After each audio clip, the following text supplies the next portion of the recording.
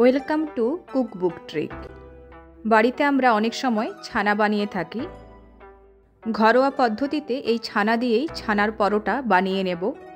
কেমনভাবে এই ছানার পরোটা বানালে অনেকক্ষণ সফট থাকবে আর খেতেও ভীষণ ভালো হবে দেখে নেব।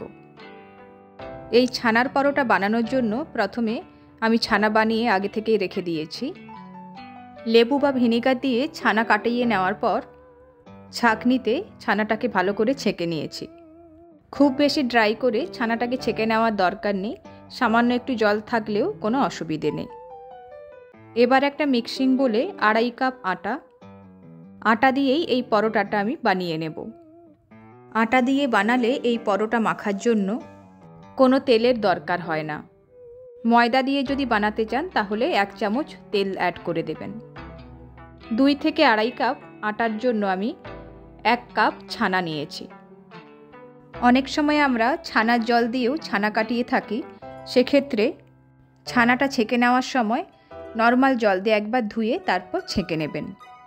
তাহলে আর ছানার কোনো গন্ধ থাকবে না। আন্দাজ মতো লবণ আর আমি এক চামচের কাছাকাছি একটু চিনি অ্যাড করলাম। ওয়ান ফোর টেবিল স্পুন কালো জিরে, ওয়ান ফোর টেবিল স্পুন জোয়ান হাফ চামচ ভাজা জিরে গুঁড়ো, হাফ চামচ চিলি ফ্লেক্স, কাঁচা লঙ্কা কুচি, হাফ চামচ আদা বাটা আর দু চামচের মতো ধনে পাতা কুচি এবার ভালো করে সমস্ত কিছু আটার সঙ্গে মাখিয়ে নেওয়ার পর প্রয়োজন অনুযায়ী অল্প অল্প করে জল অ্যাড করব। অনেক সময় ছানার জল দিয়েই কিন্তু এই আটাটা মাখা হয়ে যায় তাই প্রথমে কিন্তু একেবারেই জল দেবেন না। পরে প্রয়োজন হলে অল্প অল্প করে জল অ্যাড করবেন।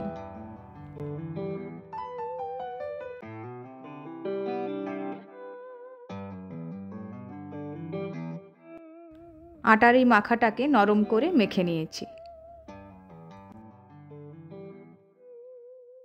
এবার গোল গোল করে লেচি কেটে রুটির মতো বেলে নিচ্ছি। এখানে আমি পরোটা ভাজার জন্য গোল করেই বেলে নিচ্ছি। আপনারা চাইলে তিন কোনা করেও পরোটাগুলো বেলে নিতে পারেন। আটা দিয়েই এটাকে আমি বেলে নিচ্ছি। এই ধরনের পরোটা খুব বেশি পাতলা করে বেলার দরকার নেই। রুটির থেকে সামান্য একটু মোটা করেই আমি বেলে নিয়েছি।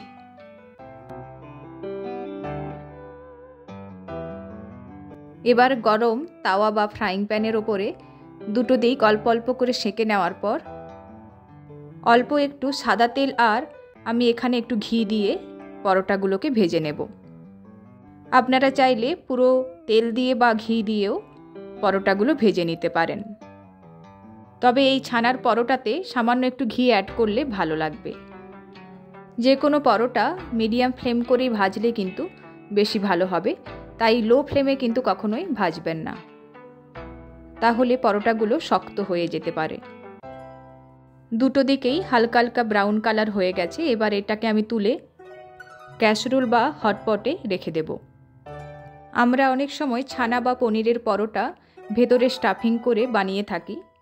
এইভাবে একবার সহজ পদ্ধতিতে ছানার পরোটা বানিয়ে দেখবেন, এটা খেতেও কিন্তু খুব ভালো হয় আর ভীষণ সফট হয়। সকালের ব্রেকফাস্ট বা লাঞ্চ বক্সের জন্য, তাছাড়া রাতের ডিনারের জন্যও কিন্তু চটজলদি এটা বানিয়ে নিতে পারেন। এইভাবে বানিয়ে কমেন্ট বক্সে জানাবেন রেসিপি কেমন লাগল। রেসিপি যদি ভালো লেগে থাকে, তাহলে প্লিজ লাইক শেয়ার ও সাবস্ক্রাইব করুন।